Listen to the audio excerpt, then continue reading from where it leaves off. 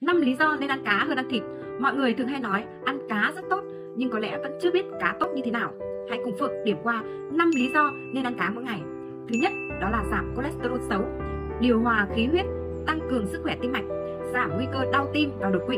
Một nghiên cứu đã chỉ ra rằng ăn cá mỗi ngày sẽ giảm được 15% nguy cơ mắc bệnh tim mạch. Thứ hai là cải thiện thị lực, ba là giảm các bệnh liên quan đến đường tiêu hóa vì ăn cá sẽ tiêu hơn ăn thịt. Thứ tư làm chậm quá trình lão hóa, đem lại sức sống cho làn da. Thứ năm là thực phẩm rất tốt cho người tiểu đường, đặc biệt là người tiểu đường tuyếp 1.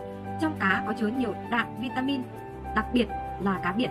Thân nhiệt của cá thấp hơn của con người, nên khi chúng ta ăn chất béo tốt, omega 3 sẽ không bị vón cục lại ở thành mạch máu mà còn giúp cuốn trôi những sơ vữa động mạch, giúp khai thông khí huyết.